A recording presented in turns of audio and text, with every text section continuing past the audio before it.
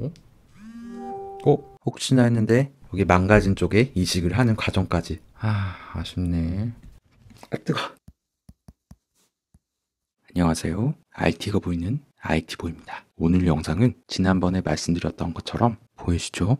아수라 백작 에디션의 레노버 탭 P11 프로 해체쇼를 진행할 예정입니다. 제품을 받자마자 개봉을 해봤는데 화면에 절반만 나오는 사태가 벌어졌고요. 직구한 제품이기 때문에 교환이나 환불이 불가능해서 제가 해체를 해보고 만약에 다시 조립을 해서 화면이 정상적으로 나온다면 좋은 거고 그렇지 않고 망가진다면 어쩔 수 없겠지만 어쨌든 해체쇼를 진행해 보겠습니다.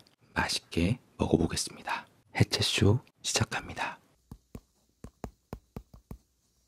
우선 해체쇼를 시작하기에 앞서서 준비물을 소개할 건데요. 전문적인 해체쇼를 위해서 heating gun도 준비해 봤습니다.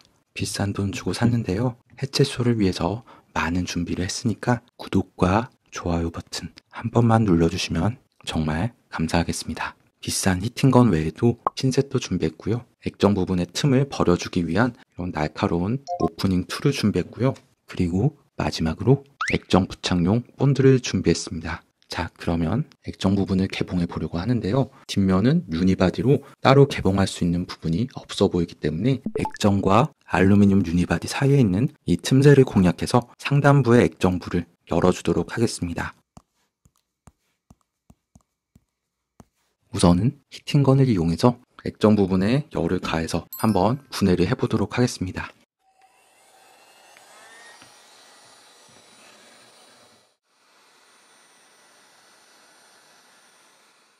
굉장히 뜨겁습니다. 그리고 한 가지 큰일 난 점은 액정에 너무 높은 열을 가한 탓인지 액정이 조금 손상을 입은 듯 합니다. 괜찮겠죠? 어차피 버릴 거였으니까 이런 거 신경치 않고 한번 열어보도록 하겠습니다. 날카로운 도구를 이용해서 틈새를 공략해 보겠습니다.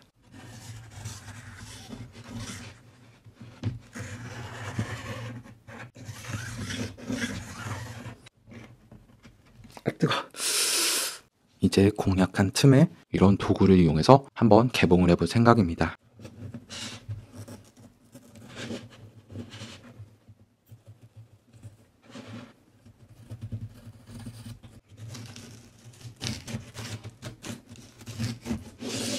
액정부를 들춰내 보겠습니다. 액정부가 들쳐졌는데요. 보시면 여기 LCD 부분에 케이블이 연결되어 있기 때문에 이 부분을 잘 제거를 해준 다음에 액정을 드러내도록 하겠습니다. 이 연결되어 있는 접합부를 핀셋으로 잘 제거해 주도록 하겠습니다.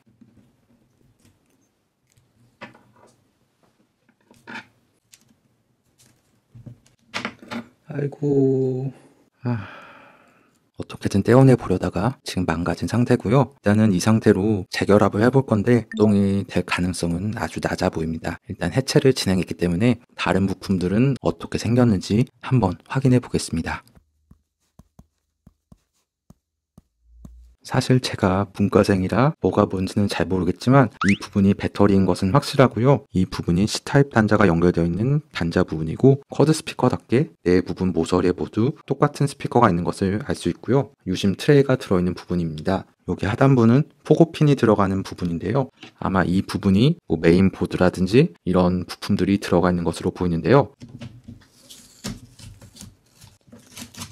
이렇게 한번 뜯어가지고 나사들을 쭉 한번 풀어볼게요. 어차피 해체쇼니까 뭐 되든 말든 이것저것 해봅시다.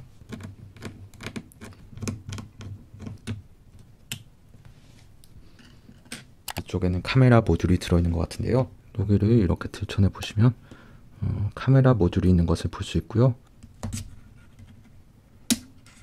보니까 이 부분은 프로세서와 램이 들어있는 부분인 것 같은데요. 어, 여기는 퀄컴 칩이라고 적혀져 있는데요. SEC016 SEC면은 아무래도 삼성전자겠죠? 삼성 일렉트로닉 컴퍼니 삼성전자 램, 램을 사용한 것 같고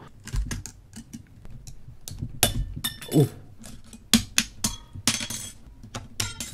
어떤 그런 센서들이라든지 그런 자잘한 그런 부품들이 들어가 있는 것 같고요. 사실 어떤 부품이 어떤 역할을 하는지 제가 정확히 알지는 못하기 때문에 이 부분에 대해서 잘 아시는 분이 계시다면 댓글로 친절하게 알려주시면 감사하겠습니다. 그러면은 다시 이 부분들을 재조립을 해준 다음에 일정 부분까지 다시 연결을 해서 조립을 해가지고 과연 화면이 원래대로 잘 나올 수 있을지 확인해 보도록 하겠습니다. 아쉽지만 이 부분은 포기하는 게 나을 것 같고요. 연결해도 잘 안 될 것 같죠? 이 상태에서 한번 전원을 켜볼까요? 전원이 아예 들어오질 않는데요. 충전이라도 한번 해볼까요? 어? 소리는 나는 걸로 봐서는 전원은 들어왔는데 화면이 아예 나간 것 같습니다. 아, 아쉽네. 갑자기 드는 생각이 어, 제가 기존에 사용하던 또 다른 레노버 탭 P11 프로의 액정을 떼가지고 망가진 제품에다가 이식해보면 어떨까라는 생각이 들어가지고 지금 되게 많이 고민 중인데요. 해체쇼가 완성작이라고 보기는 힘들기 때문에 이 과정까지 해야지 이 영상을 만드는 제 성에 찰 것 같습니다. 제 목소리가 떨리는데요. 정상적인 디스플레이를 한번 분해를 해가지고 여기 망가진 쪽에 이식을 하는 과정까지 한번 진행을 해보겠습니다. 그럼 아까처럼 다시 열을 가해가지고 액정을 분해해서 하는 과정으로 빨리 가보도록 할게요. 자 이렇게 해서 아까와는 다른 멀쩡한 레노버 탭 P11 프로도 분해를 해봤고요. 하... 잘 되겠죠? 멀쩡한 부분에 있는 액정을 다시 제거를 해가지고 여기 망가진 P11 프로로 이식을 해보도록 하겠습니다. 잘 보관해 두고요. 망가진 액정을 다시 떼가지고 망가지지 않은 액정을 망가진 제품에다가 다시 결합을 해보도록 하겠습니다. 한번 전원을 켜보겠습니다. 과연 어떻게 될까요? 어?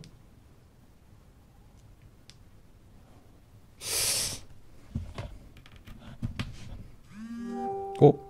화면이 이렇게 하얀 배경만 나오고 아무런 화면도 보이지 않고 있는데요. 아마 이렇게 된 걸 보면은 어, 망가진 쪽의 제품은 케이블이 뭔가 문제가 있었던 제품이지 않을까 그렇게 생각하는데요. 만약에 이거 이 액정을 다시 빼가지고 원래 제품에 다시 결합을 해가지고 화면이 잘 나온다면 케이블 쪽에 이상이 있는 게 아닐까 그렇게 생각을 하고요. 멀쩡한 액정을 다시 빼가지고 망가진 제품 쪽이 아닌 기존의 제품에 다시 연결을 해보겠습니다. 이번에는 제발 되게 기도 좀 해주세요. 연결을 했고요. 한번 전원을 켜볼게요. 제발, 제발. 어, 어.